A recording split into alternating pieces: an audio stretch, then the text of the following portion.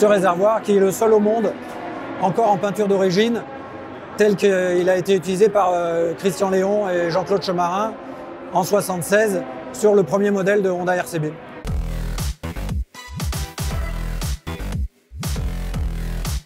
Nous, nous sommes le team RCB.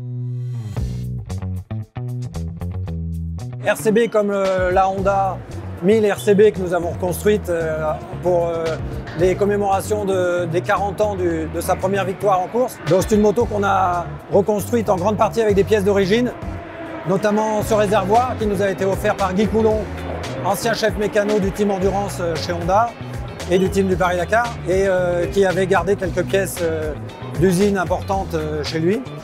Et il faisait rien de ce réservoir. Il m'a dit bah, si vous reconstruisez la moto, euh, je vous aiderai et pour commencer, je vous offre euh, ce réservoir qui est le seul au monde encore en peinture d'origine tel qu'il a été utilisé par euh, Christian Léon et Jean-Claude Chemarin en 76 sur le premier modèle de Honda RCB.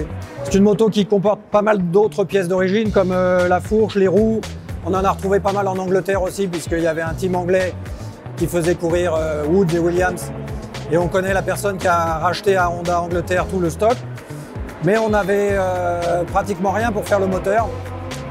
Donc au début, on voulait faire un moteur hybride, histoire d'avoir une moto qui roule avec des pièces de série. Et puis finalement, on est tombé sur des vrais carters et Guy Coulon nous a dit euh, on ne peut pas faire un moteur euh, à moitié, il faut reconstruire le vrai moteur de RCB. Et c'est ce qu'on a fini par faire grâce à notre anglais qui nous a, qui nous a prêté une culasse authentique qu'on a fait copier par une fonderie de Pau qui s'appelle Ventana. Et on a refabriqué une culasse 16 soupapes, double arbre à cam en tête. Et on a remonté euh, le moteur euh, tel qu'à l'origine. Ce qui fait qu'on a une RCB qui roule. On a mis à peu près 3 ans et je préfère pas vous dire combien ça a coûté parce que nos femmes sont pas loin, elles écoutent. mais euh, ça a coûté une fortune, mais au moins on a une moto qu'on peut prêter aux anciens pilotes. Il y a aussi Daniel Rouge qui est un ancien de chez Honda France euh, on l'a montré aussi à l'ancien team manager euh, Jean-Louis Guillou qui habite tout près d'ici, euh, au Bosset. Notre plus grand plaisir, c'est que Jean-Claude Chemarin roule avec notre moto en démonstration sur tous les circuits de France, notamment Le Mans et le Castellet.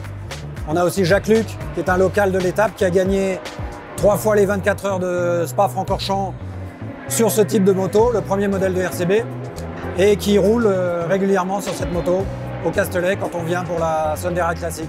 Il y a un grand engouement pour les motos d'endurance des années 70. C'est une période où Honda a dominé beaucoup pendant de 76 à 79, euh, grâce à Léon et Chemarin, mais grâce à leur écurie d'usine avec beaucoup de motos, beaucoup, beaucoup de teams après qui récupéraient les motos des années précédentes. Japoto aussi qui avait des moteurs euh, d'usine. Et, euh, et, ça a attiré une foule énorme de gens qui ont à peu près notre âge. Hein. On est des jeunes soixantenaires euh, et, qui nous remercie de remettre en piste une RCB qui les faisait rêver quand ils étaient petits.